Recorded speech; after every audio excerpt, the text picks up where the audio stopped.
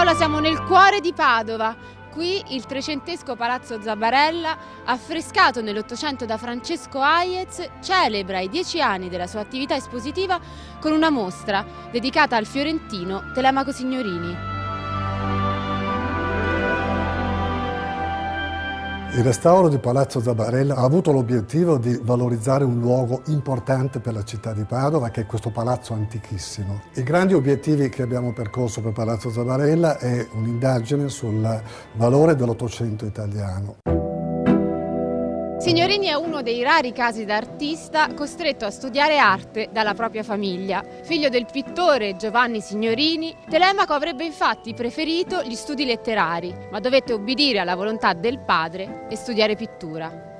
Intellettuale colto e raffinato, fin da molto giovane Telemaco manifesta la capacità di critico oltre che di pittore, attento non solo a ciò che accadeva nel mondo dell'arte, ma anche nella società.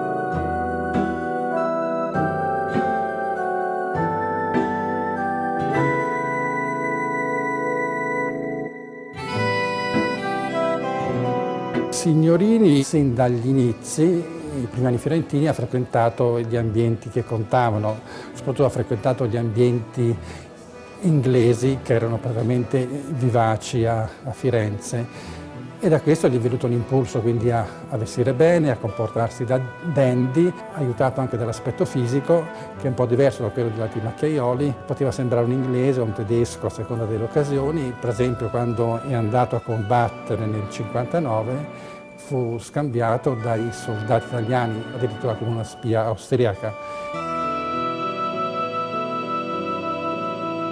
Ma Signorini è anche uomo di mondo. Tra i pochi macchiaioli ad aver successo in vita, viaggia molto tra l'Inghilterra e la Francia, entrando in contatto con la più raffinata elite culturale internazionale, stringendo amicizia con i protagonisti della pittura europea, da Degas a Boldini.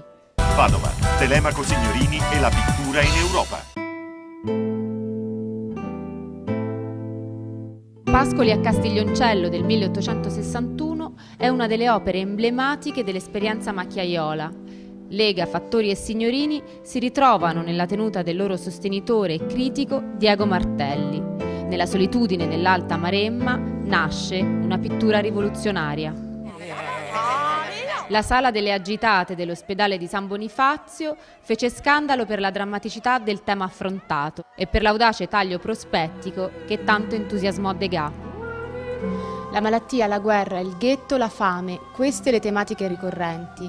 Nella celebre Alzaia del 1864 giovani uomini trascinano, spezzati dallo sforzo, un'imbarcazione controcorrente, diventando metafora della fatica del vivere.